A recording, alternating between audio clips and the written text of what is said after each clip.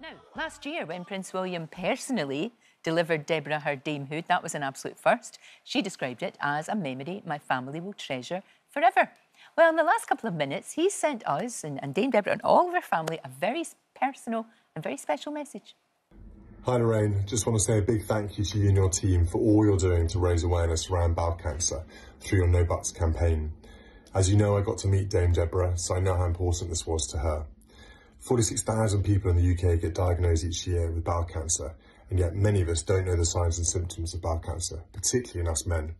So if you're watching this, please take a second to listen and learn about the signs and symptoms of bowel cancer. It could save your life.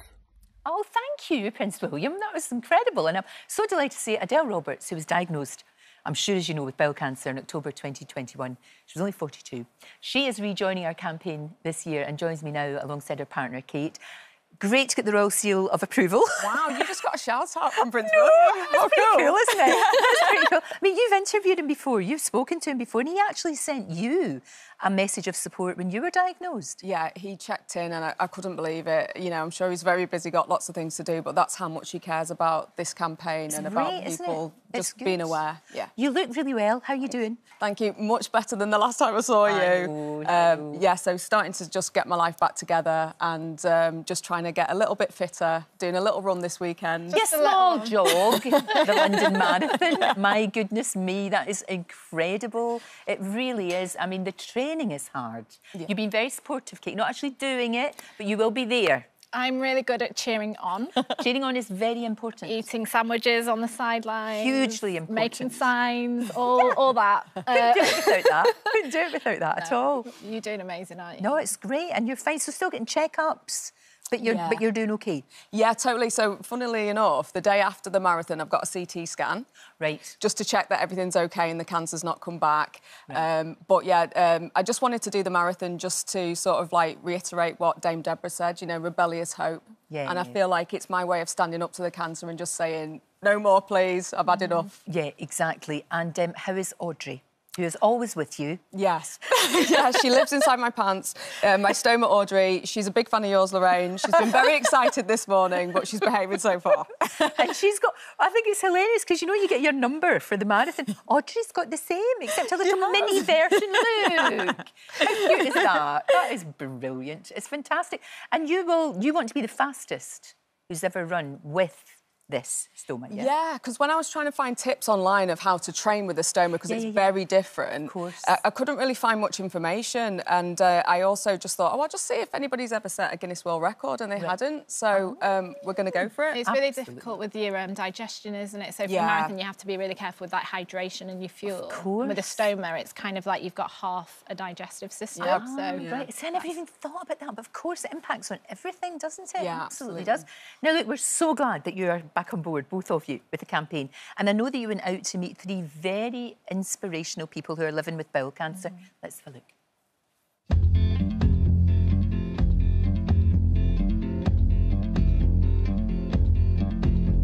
I feel like we've all experienced all the symptoms, but mainly for me, the thing that made me go to the doctor was noticing blood in my poo.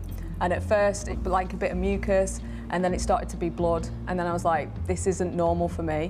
What were the main ones for you? There was blood in my poo. Uh, I was also going to the toilet quite a lot of times during the day, probably about six, seven times a day. And, and Sophie, for you, it's quite a dramatic change in terms of weight. Yeah, it was weight loss initially first, dramatic change in weight loss. Wasn't lethargic, didn't have any pain. It just literally was changing bowel habits for me. I think sometimes we almost don't talk about it to ourselves yeah. as well. We ignore our normal habits, don't mm -hmm. we? So it's mm -hmm. important even talking about it to yourself. Yeah. Yeah.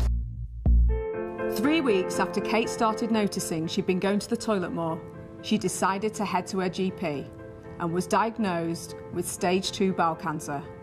After an operation, she is now cancer free. Kate, you know how important this campaign is, No Butts. It helped you directly. Yeah, yeah it definitely did. When it, I was diagnosed, it was the same time as Dame Deborah. Don't feel embarrassed about it. Yeah. I think probably before I would have been much more reserved about it. It's not my normal topic of conversation. Salve realised something wasn't right and went to his doctors. He was diagnosed with bowel cancer in his 40s. He's been in remission since 2021. Sal, you're somebody that's had to hear you've got cancer twice. The world becomes a lonely place when you hear the words, you have cancer. Nobody knows our bodies like we know them. So I thought, I think I need to get this checked out. Sophie was diagnosed with bowel cancer in her 30s. While she now has no active cancer in her body, she lives with two permanent stomas.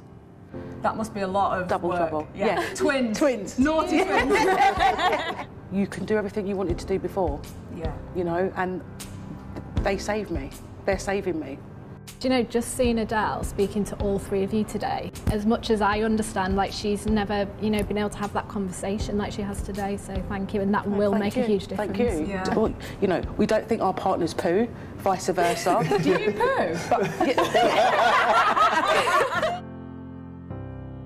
Oh, that was fantastic, wasn't it? To, to talk to people and their different experiences and to hear that and to hear that you can still go on to your life, even with a double stoma, you can still do mm-hmm. things. It's fantastic, it really is. Sometimes, though, it's really hard for the person that's going through it, obviously, really tough, but for the family. And it's been hard for you, hasn't it, Kate? It's been, it's been difficult. It is hard, and I was saying to Adele, it's, it's, it takes a long time to kind of know that it's okay to say it's hard as well. It feels kind of weird with everything that Adele's gone through. Of course. Uh, because you just want to take it away from them and you just don't want them to have to go through that on their own. And No, of you, course. you just feel like you want to help them and be involved. And that was my worst fear, that Adele would feel like she was on her own. So I think we've just really tried to do everything together, Yeah. haven't we? Yeah, yeah, yeah. And, And I, th- I think also, you know, I know it's a cliche, but that doesn't matter. But it does bring you closer together. I mean, I know you love each other very much, but the, the love deepens somehow, you know, in, in a way, Mm-hmm. um, because you've gone through this both together. Yeah. I mean, thank God she's still sat here because she's seen so much of me, Lorraine. she really loves me.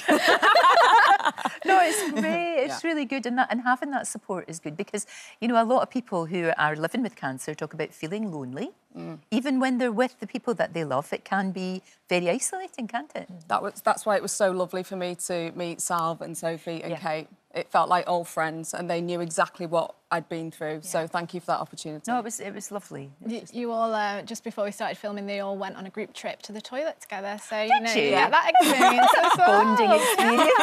That's a way to break the ice. and Just everybody to, but it's good. That's what we're trying to do here, Yeah. not it? To just take all that silliness away, and we can talk about anything, and it really and it really helps. It really does, and it helps having both of you on on board. So thank you so much. Thank you. And don't forget, you can download our No Butts leaflet from the website. It shows you all the signs and symptoms of bowel cancer to be aware of. And finally, and this is great, I just wanted to congratulate Steve Bland and his wife Amy because they have welcomed twins, Ruby Hope Claire and Luca Jackson Matthew. And how cute are they? Of course, Steve's been a massive, massive supporter of this. Great friend of, of Dame Deborah. They did that wonderful podcast together. So mm-hmm. that's good news. We like that a lot. I better start knitting. Start knitting hats and scarves and blankets and all sorts of things. Thank you both so much.